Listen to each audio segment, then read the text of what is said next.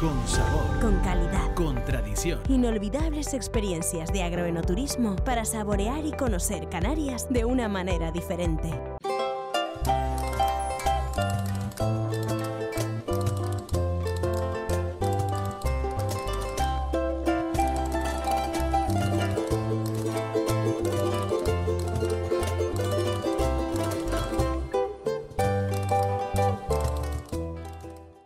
Bienvenidos a una nueva edición de Canarios de Campo y Mar. Una semana más queremos poner en valor nuestros productos, nuestra tierra y su gente. E ir creando concienciación de la importancia que tiene consumir el producto local. Porque para usted como consumidor es una garantía de un producto fresco, natural, cercano, nutritivo, saludable, con sabor, pero que además usted está generando riqueza en nuestro mundo rural está fomentando la creación de empleo y está ayudando a proteger el paisaje. Y a la misma vez estamos potenciando el agroturismo. Pero además también estamos consiguiendo que nuestra isla sea mucho más sostenible. Por eso es importante que cada día nos llevemos a nuestra mesa siete productos, siete sabores para los siete días de la semana. Y además, comprar con esas garantías un producto local, con las garantías que da el producto de aquí, no es caro.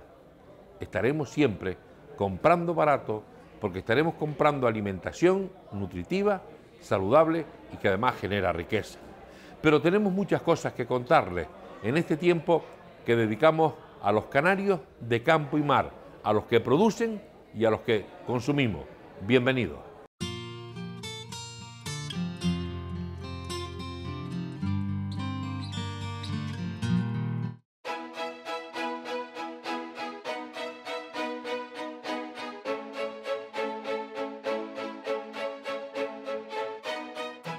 Potencial de cultivos subtropicales en la isla de La Gomera es importante. Hoy sobrepasan los 100.000 kilos entre aguacates y mangos, de los cuales una parte destacada la gestiona comercialmente el GMR, la gestión del medio rural. Teniendo como base patrones propios, los agricultores gomeros han conseguido unos varietales con una alta calidad y muy cotizados en el mercado en las marcas más deseadas por el consumidor por su riqueza en materia seca o grasa, sabor de la pulpa y la buena maduración. La tierra, el clima, el agua y las zonas como la villa de San Sebastián, casi en un barranco entre dos grandes laderas que abrigan el cultivo y el alicio cuando cae en la cumbre le proporciona humedad.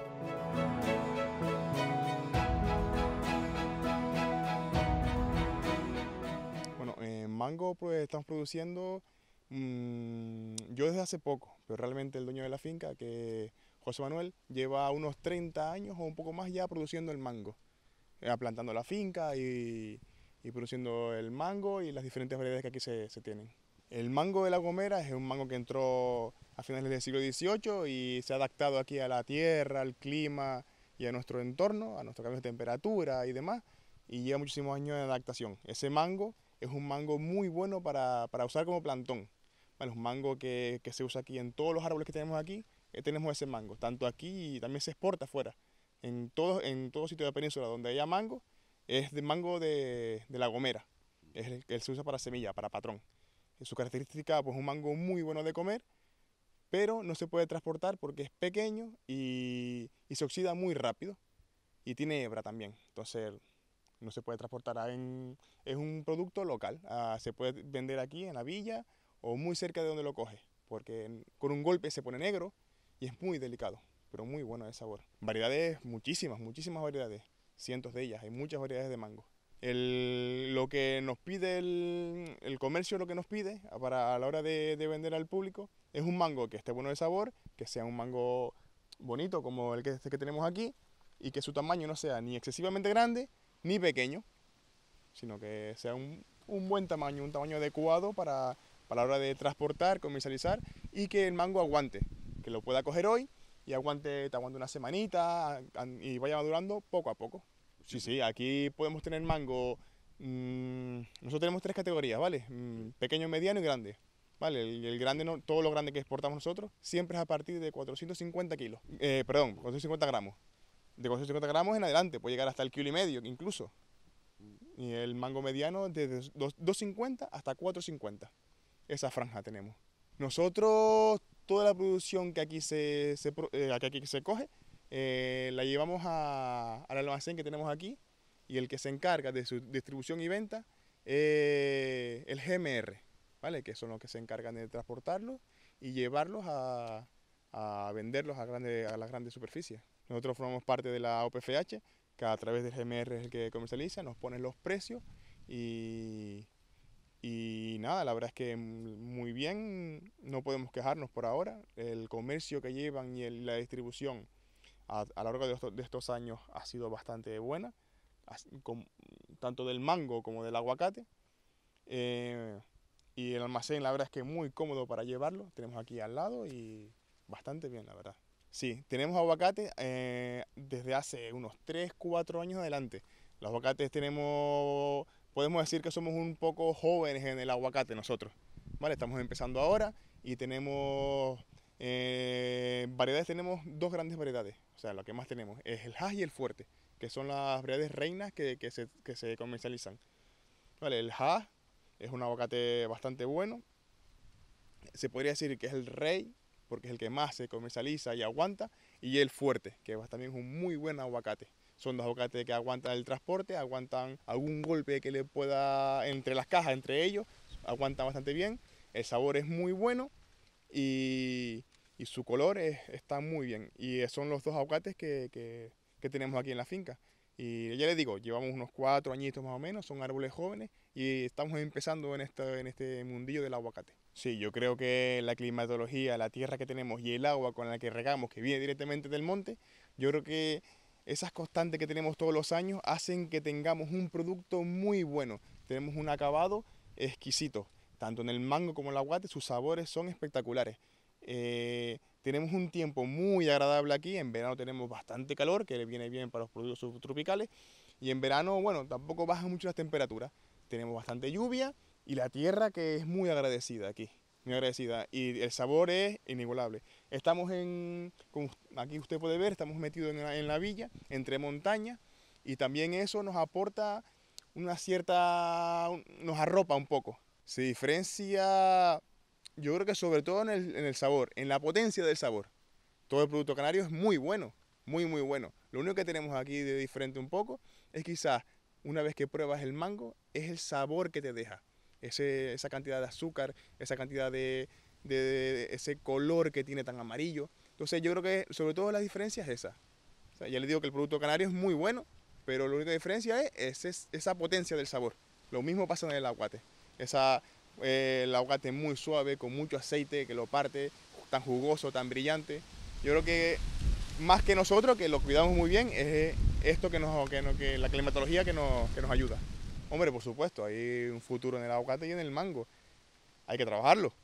En la tierra, pues no, no es fácil, pero hay que trabajarlo y es bonito verlo crecer y, y claro que hay futuro. Hay futuro si lo trabajas, eres constante y, y te gusta esto, pues te tiene que gustar hay, futuro. Hombre, yo sé que es duro, porque no les voy a decir que esto es un camino de rosa, pero les diría que, que no es imposible, que esto es muy bonito, ve plantar, ve crecer y que algo que tú hayas plantado te produzca y te dé unos beneficios al año, es algo muy bonito, que es duro, por supuesto, pero te lo recompensa. No hay mayor amor que la íntima satisfacción del deber cumplido.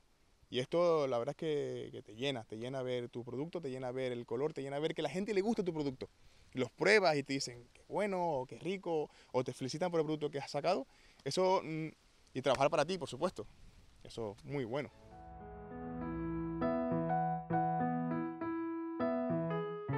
La presencia de los jóvenes es una prueba que si la explotación agrícola o ganadera da, es rentable, es viable, el joven se dedica a ello. Y en este caso, el tener garantizada la venta a través del GMR o del productor agrorincón, como es en otros casos, el agricultor se ocupa y se preocupa por sacar la mejor calidad. Se profesionaliza porque así cada día se lo exige más el mercado.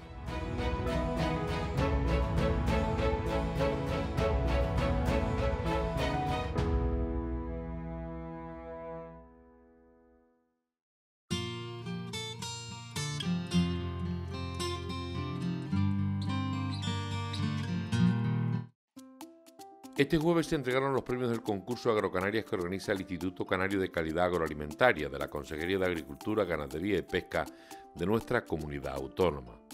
Los mejores quesos, gofios, vinos, aceites y sales del archipiélago. Este concurso es hoy el mejor escaparate de promoción y divulgación de estos cinco productos canarios en una apuesta en valor diferenciada tanto del producto como del productor por la excelencia que pone en la mesa de los canarios que los hace diferentes, singulares y únicos.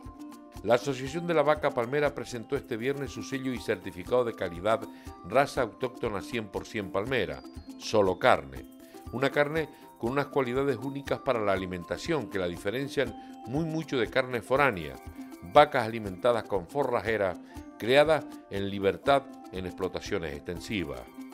El aula de enoturismo y turismo gastronómico de la Universidad de La Laguna tiene un mes de intensa actividad, colaborando con la denominación de origen de vinos de La Palma en sus jornadas de la viña y el vino, donde la doctora Francesca For y el economista Borja de Mesa hablaron a los viticultores y bodegueros del potencial de los varietales palmeros, donde puede haber una gran biodiversidad para hacer vinos únicos y del cambio de mentalidad en producción y comercialización, adaptándose a las exigencias del mercado y a los nuevos tiempos que deben llevarse a cabo para hacer viable los proyectos vitivinícolas, bodegueros y enoturísticos.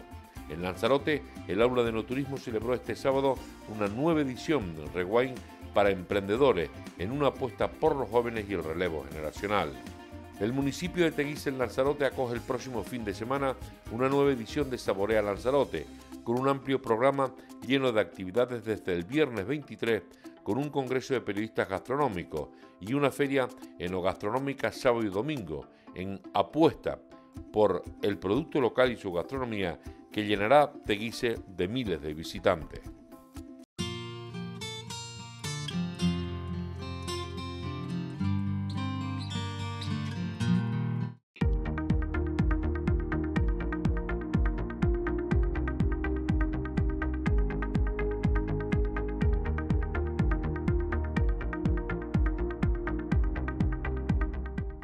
Municipio Gran Canario de Valsequillo celebra su feria de miel que tiene como objetivo acercar el producto y el productor al consumidor y que éste se interese por las cualidades del producto, su trabajo y características y sobre todo conozca al productor y así gana en confianza, en credibilidad y en garantía de la miel que se lleva a casa.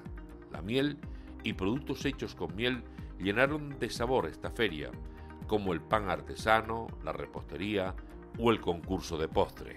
Ferias como esta abren también mercado, porque con ello estamos comunicando lo que somos, divulgando y promocionando el verdadero producto local, calidad, seguridad y valor, y perfectamente identificado.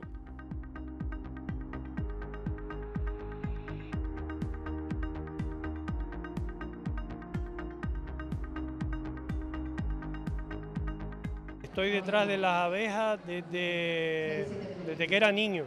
Mi padre siempre las tuvo y luego seguí yo con la tradición. Tengo de 80 a 100 colmenas, la producción depende del año. En los últimos años, debido a la sequía, las producciones han bajado notablemente hasta menos de la mitad de lo que viene siendo normal. El cambio climático está afectando eh, de una forma bastante acentuada las producciones. Por eso han bajado tanto. Entre la sequía y, la, y el cambio climático lo han acusado bastante. Lo que está pasando es que al bajar tanto las producciones, porque no solo a nivel canaria, sino a nivel eh, península, por ejemplo, lo que están haciendo es mezclándola con jarabes de alta fructosa, con lo cual es un fraude alimentario en toda regla. Eso está pasando aquí exactamente. Y se vende como miel canaria. La feria muy bien, agradecer al Ayuntamiento de Valsequillo eh, la labor que está haciendo en promocionar y dar valor al sector apícola en concreto y animarlo a que siga en esta postura. Yo hace más o menos que me metí en esto, pues unos 7, 8 años más o menos, calculo por ahí. Nada, empecé con vender unas pocas de mieles, pero luego me empezó a gustar, me empezó a gustar, luego empecé a poner unas poquitas de colmena y ahora tengo unas pocas más y cada año pues voy incrementando un poquito más. No puedo tener muchas tampoco porque me dedico también a montar en las ferias, eventos gastronómicos, claro, no se puede tener todo en la vida, pero me gusta bastante lo que hago porque hay mucha gente que se interesa por la miel, es un producto muy interesante y muy bueno para la salud. Yo tengo más o menos unas 50 colmenas, no tengo tantas colmenas, la verdad. Ahora mismo las tengo en Pinoleres, cerca donde se hace la feria de Pinoleres, y también tengo pues en el Palmar y en la zona de la Orotava, también tengo. La abeja canaria a lo mejor trabaja un poco menos. Es verdad que hay gente que tiene otro tipo de abeja, pero bueno, yo no soy quien para criticar eso. Yo tengo la abeja negra canaria y a mí con ella me va bien. Sí, bastante, bastante, la verdad que sí, porque el año pasado es que no hubo lluvia. Este año tampoco es que ha habido mucha, pero bueno, parece que hay un poquito más de miel. Pero claro que fastidia porque sí, el agua nos hace falta a todos para vivir. Sin agua entonces, claro, las abejas también necesitan que las flores tengan... Hay flores, pero no tienen néctar. Necesitamos que llueva para que la flor tenga néctar, que es donde come la abeja. Esta feria yo he venido otros años y la verdad que es una feria chiquita, pero aparte de que es de la abeja negra y yo pienso que debemos participar todos los que podamos con miel, ¿no? porque es una feria que se, es dedicada a la abeja negra y es una feria chiquita y muy bonita, la verdad. Y bueno, a mí también me gustan las ferias pequeñas y las ferias de pueblo. Desde hace tres años aquí hemos eh, la empresa ha visto que han venido cada vez más, más apicultores jóvenes sobre todo, ¿sí? Y bueno, muchos herederos de los, de los, de los que ya estaban y nuevos que no conocían nada, que querían meterse con el tema, sí. En invierno se ponen malas y le entra una enfermedad, entonces en invierno sobre todo medicamentos, medicamentos para la abeja. Y en verano, pues en verano más bien ellas trabajan, no se compra tanto. Muy poquito, muy poquito porque está muchas cosas inventadas y no se, no se innova mucho en, este, la apicultura, pero sí, sí hay, hay algunos y sobre todo los, vienen clientes que, que han investigado y vienen y dicen, mira, este material nuevo lo puede conseguir y entonces nosotros nos enteramos por eso, cada vez más, cada vez más. Hay, sigue habiendo más porcentaje de, de, de gente más, más de los 30, más de los 35, pero, pero cada vez se animan más. Nosotros hacemos el tradicional pan de puño de ingenio con masa madre, pan de millo, incluso la harina de millo la compramos en Telde, en el molino de Telde, y allí se hace todo artesanal. Luego hacemos también un poco de bollería casera, garapiñones, truchas, que le hacemos especiales porque en vez de poner limón y canela, le ponemos naranja mandarina. Y luego la guisamos en el horno, el mismo horno donde guisamos el pan. El pan de puño con miel, el pan de las tortas de huevo con miel. Pues le, hacemos la torta, la tradicional torta de huevo, y luego en vez de ponerle azúcar, le ponemos miel. Se queda un poquito menos dulce que la torta de huevo normal, pero se queda diferente. Y luego le ponemos chocolate, chocolate negro.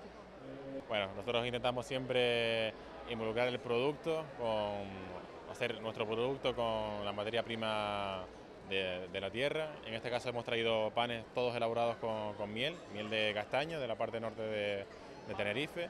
Y bueno, hemos mezclado, por ejemplo, el trigo barbilla, que también es un trigo local, con la, miel de castaño, con almendras, con arándanos, con avellana y bueno, más variedad que hemos podido ofrecer aquí y eso, siempre ofrecer eh, lo, que tenemos con, lo que hacemos con la materia prima.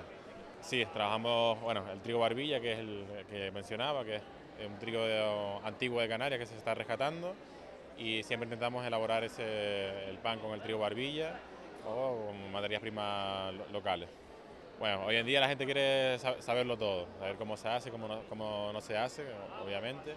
Y sí, la gente pregunta, le informamos lógicamente eh, y eso, pan elaborado con el trigo barbilla, cómo se hace, la fermentación que tiene, que es un, fermentado lento, un amasado lento también.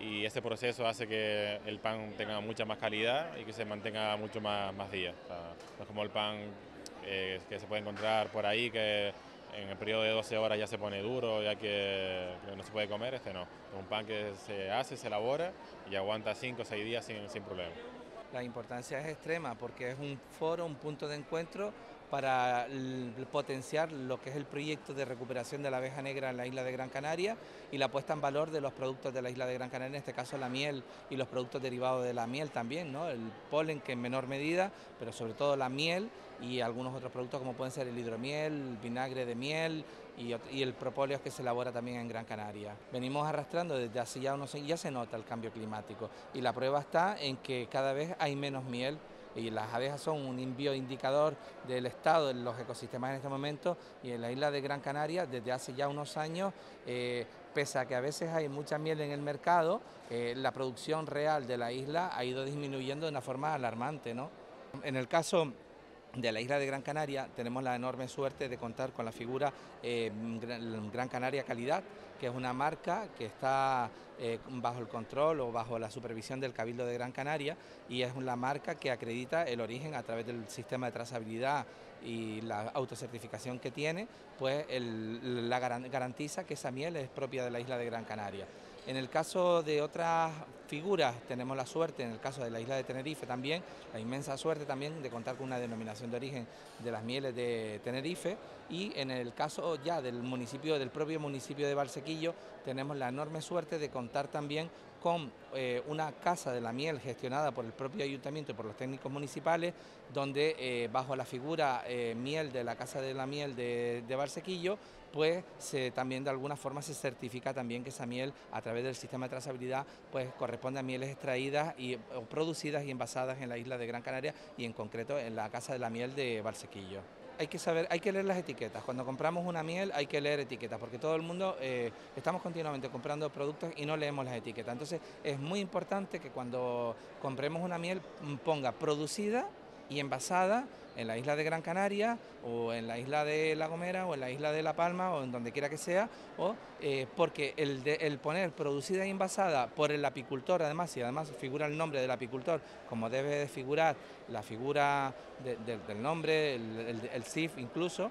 pues entonces no garantiza que esa miel está, está producida en la isla. Sin duda, es una oportunidad de poner contacto directo al productor y al consumidor que sepa la calidad y la excelencia que tiene estos productos del municipio, estos productos de esta tierra canaria y fundamentalmente representa también una dinamización económica del municipio, de seguir apostando por un sector, o su sector en este caso dentro del primario, como es la apicultura, que está en crecimiento, que hay mucho que hacer, pero que sin duda eh, trae muchas bondades a, nuestro municipio, desde el punto de vista de lo que representa también la polinización, el paisaje, el medio ambiente, que también representa un elemento importantísimo de sostenibilidad por parte nuestra, pero también de promoción y de conservación para el presente y para el futuro del municipio.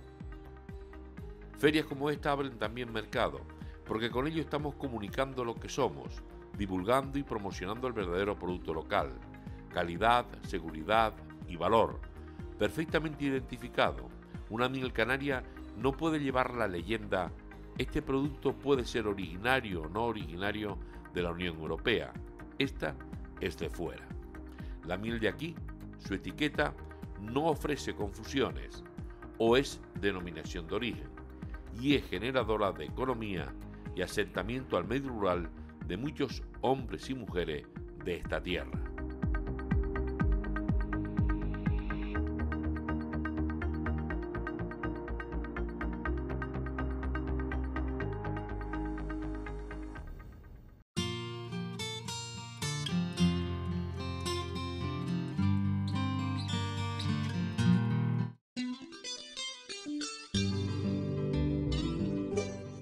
Durante siglos, los vinos canarios han destacado siempre por la singularidad, aroma y sabor que le aportan las variedades, el clima y el paisaje de nuestras islas. Por la orografía y el reducido tamaño de las explotaciones, las prácticas de cultivo y elaboración siguen el mismo proceso de antaño con el apoyo de modernas tecnologías. El esmerado cuidado y la estrecha colaboración entre viticultores y bodegueros han permitido obtener unos caldos de reconocido prestigio gracias a la selección de una uva de calidad y la recuperación de variedades tradicionales. Elige productos locales. Contribuirás a la mejora y fortalecimiento de nuestra economía.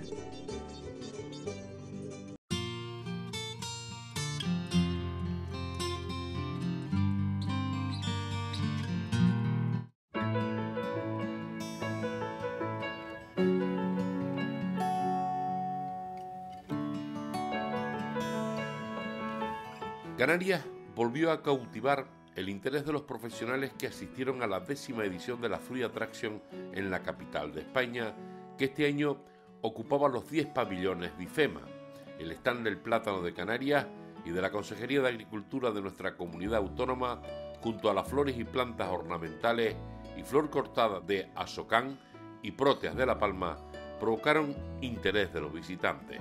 En esta especial ocasión, la Fruit Attraction presentó la mayor y más completa de sus ediciones con la participación de 1.600 empresas de todo el mundo repartidas en 50.000 metros cuadrados, con oferta hortofrutícola y 70.000 profesionales de 120 países. Asprocan aprovechó la ocasión para presentar el libro de cocina de los hermanos Torres, El plátano de Canarias en la cocina, que recoge todas las posibilidades que ofrecen el plátano cultivado en Canarias más allá de su consumo, como fruta en fresco, convirtiéndose en un ingrediente muy versátil en la cocina. yo creo que hay, varias, ¿no? Pero bueno, nosotros que nos vamos hacia cosas quizás eh, más especiales, pues eh, eh, a mí el plátano fermentado me ha parecido algo increíble porque tiene un sabor y una, una sutileza tremenda, ¿no? Pues a mí sustituirlo como huevo en las mayonesas o en algunas salsas es fantástico, o también sustituirlo por la patata o por la harina, para tipos de pasta también. Bueno, hemos hecho licores, fermentado, que triplica la cantidad de propiedades que ya de por sí tiene el plátano como superalimento. Y, hemos hecho un montón de recetas y técnicas, que es lo importante. Bueno, surge porque nos vamos a conocer el plátano ahí en, en las islas y y empezamos a investigar y luego también nos propusieron desde Sprocam hacer un libro de recetas y, fue todo un reto porque la verdad es que nos hemos quedado sorprendidos de la cantidad de posibilidades que tiene como ingrediente, no como fruta. La receta más. Hay fáciles. todas son fáciles. Todas. La mayonesa de plátano. Que pones plátano, aceite y sal y montas. Y ya, está. 40 Hemos hecho 40 recetas, pero con diferentes puntos de maduración y cada punto de maduración tiene su receta. Lo que pasa es que hay recetas que te llevan a otras recetas, o sea que el libro tiene más de 40 Y después, lo que insisto que es importante, diferentes técnicas eh, con el plátano, que son, es lo que te puede abrir la puerta a un sinfín de, posibilidades. Eh, está claro que sí, esta es una feria que nació no hace mucho tiempo, pero que cada año es, es mayor, cada vez más aquellos productos que quieran ser visibles en el mercado nacional e internacional de frutas y hortalizas tienen que estar aquí. Plátano de Canarias es una fruta líder en el mercado nacional. Cada vez la competencia es mucho mayor, tenemos que hacernos valer ante nuestros consumidores, informando de quiénes somos, de cómo somos de diferentes. Y este es un punto para, para eso, para hacernos valer ante la distribución de frutas ante la administración y ante nuestros propios productores. Tenemos que estar siempre en el camino y luchando por, por hacer valer nuestro producto. Sí, esto es, el mundo real. Eh, cada vez más oferta de frutas de diferentes orígenes y diferentes variedades que nos hacen estar permanentemente compitiendo por los mismos consumidores. Eh, es un mercado cada vez más aguerrido tenemos que seguir luchando por informar de nuestras diferencias, de nuestras calidades, de nuestro sabor, de nuestra manera de cultivar y de nuestro clima. ¿no? Sí, bueno, África, la producción africana es una producción que lleva, lleva tiempo haciéndonos daño por la cercanía, porque el producto se parece. Eh, con eso tenemos que andar y porque están muy implantados ya en el mercado nacional.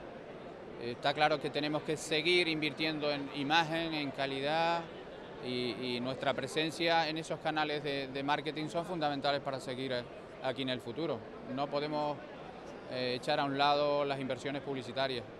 yo pienso que la Fruit es el escenario donde se eh, reúnen todos los grandes compradores y comercializadores de todo lo que son las frutas y hortalizas en, España y yo diría que en Europa y el plátano de Canarias tiene que estar en la fruit porque sí, o sea, es muy pero muy importante.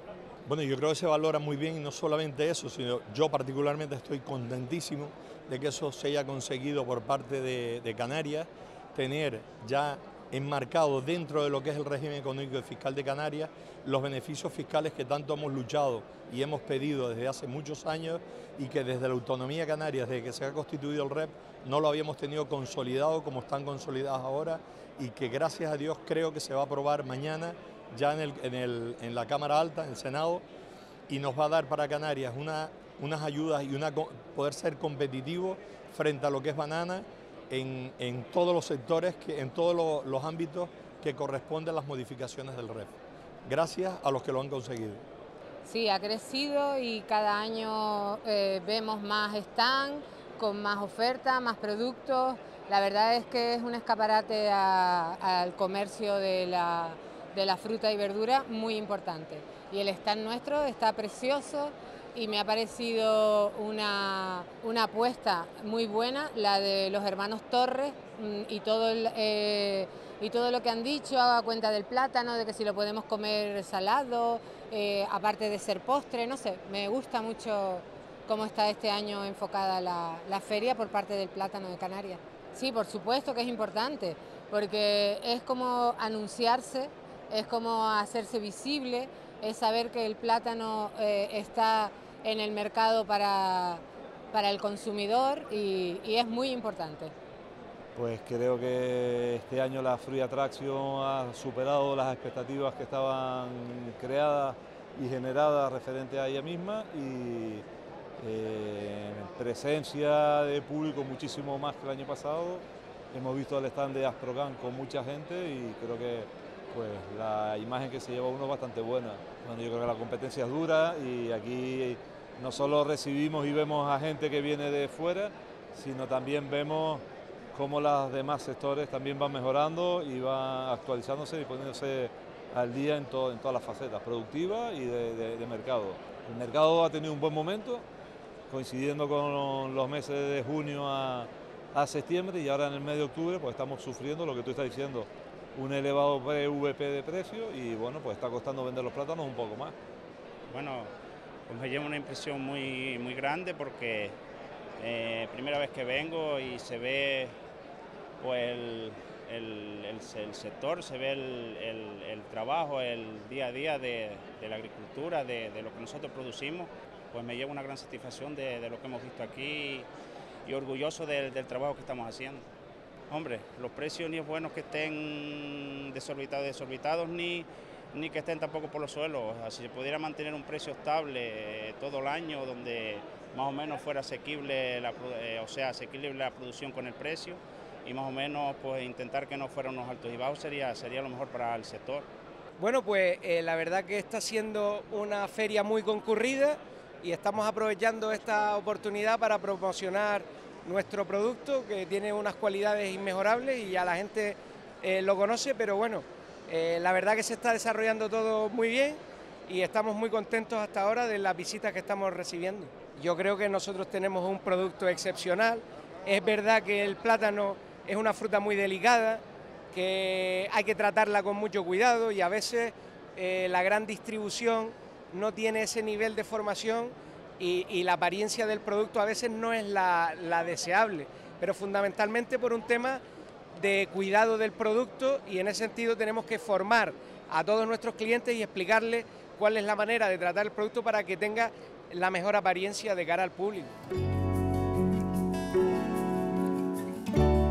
Por otro lado, hay que destacar que Asprocan recibió la certificación AENOR de cumplir todos los parámetros en la eliminación de la huella de carbono, desde la siembra del cultivo hasta el lineal del supermercado.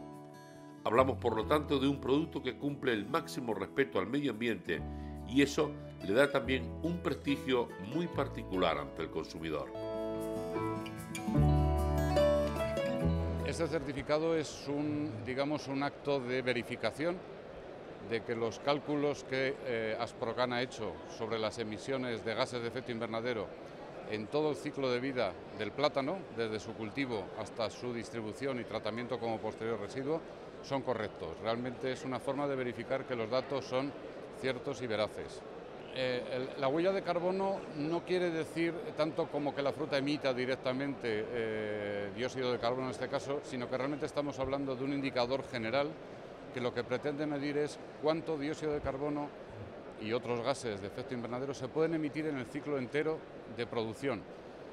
Entra, por lo tanto, la producción, entra la distribución, entra el transporte, entran las emisiones por consumo de combustible, etcétera. Es decir, es una forma de llevar a un indicador homogéneo todo tipo de emisiones a lo largo de todo el ciclo de vida. No es que el plátano en sí lo emita, sino que es todo el proceso de obtención. Estando en la península, había que hablar del mercado y lo hicimos con el responsable de Asprocan en conocer los mercados y abrir nuevos nichos de negocio. Aquí tenemos un problema y el problema es eh, que eh, la, evolución del formato de compra está pasando los clientes del canal especialista, del canal tradicional, del tendero del barrio, al gran consumo. El gran consumo es, un, gigante que mueve muchos millones y donde están todas las grandes, las grandes compañías, las grandes multinacionales. Eh, ya no estás compitiendo con, con la banana o, ni estás compitiendo con la naranja, además estás compitiendo con Coca-Cola está compitiendo con muchos momentos de consumo, eh, con momentos de consumo fuera del hogar y en este sentido eh, plátano de Canarias tiene un plus, que es plátano de Canarias es una fruta muy fácil de, llevar y en ese sentido tenemos mucho ganado. Además, como ya sabemos, pues tenemos una inversión fuerte en comunicación y frente a lo que pueden estar sufriendo otras otra, frutas de la misma categoría, eh, plátano de Canarias está creciendo contra mercado. La tendencia en general en frutas es caer un 2,3% anual, mientras plátano de Canarias está creciendo un 4,4%, eh, por ejemplo, en el primer trimestre. Y yo creo que es un futuro muy positivo en la medida en que estamos consiguiendo no solo estabilizar la producción y conseguir mejores precios, sino que yo creo que la realidad estaba ahí. Hace unos años la gente tenía dudas, hoy es la realidad la que impera, la realidad y el futuro. Plátano de Canarias, que mantiene unos 15.000 empleos estables, genera entre la producción y la comercialización más de 1.300 millones de euros al año, de los cuales unos 500 millones van a los agricultores, 20 y subvenciones y el resto se generan en el comercio peninsular. El futuro de este sector, a pesar de la ayuda POSEI y de la subvención al transporte, ha creado sus propios enemigos manteniendo un alto precio de la fruta, cosa que no pasa con la banana, por lo que este producto junto a la banana africana, cuyo coste de entrada no supone más del 0,30 céntimos de euro, puede estar provocando que se convierta a la banana en la marca blanca del plátano de Canarias por lo que la unión y concentración de las OPP, creando sinergias de comercialización para reducir gastos, se hace más que necesaria. No olvidemos que Europa nos ha dado más de 3.500 millones de euros en los últimos 25 años para crecer, ampliar, tecnificar, diversificar y sobre todo para ser hoy más competitivos en los tiempos que corren. Y en cuanto a la organización interior, estamos como estamos Europa un día nos puede dar un buen tirón de oreja, tanto pedir y nosotros sin cumplir.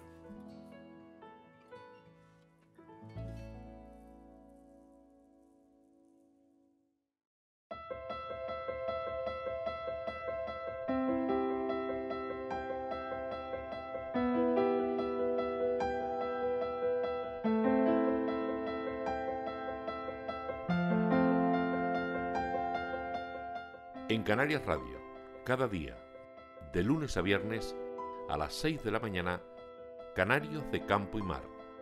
Te esperamos.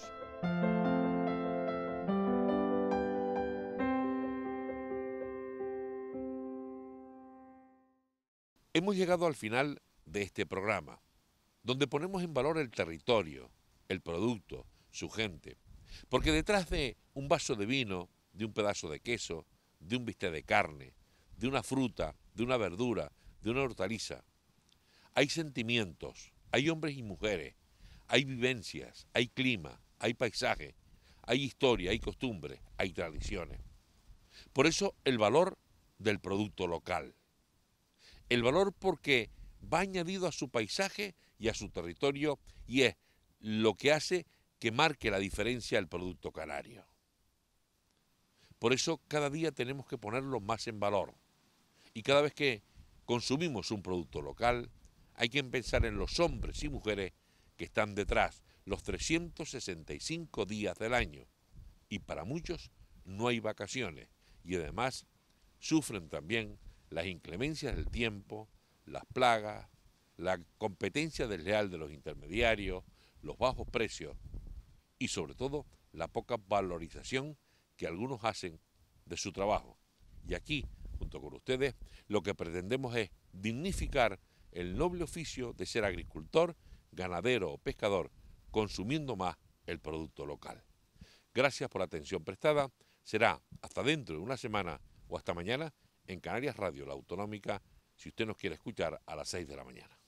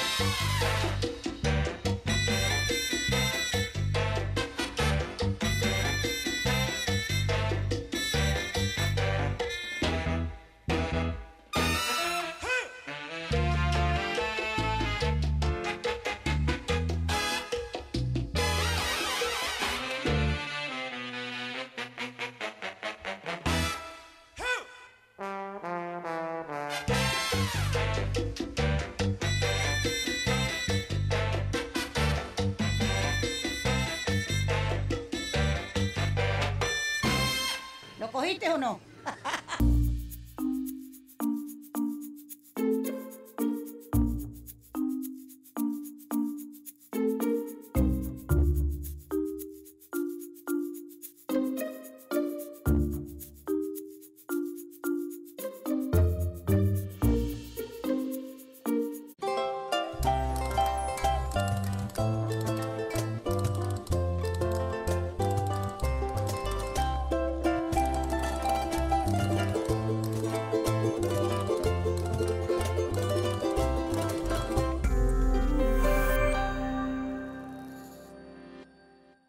Canarias. Con sabor. Con calidad. Con tradición. Inolvidables experiencias de agroenoturismo para saborear y conocer Canarias de una manera diferente.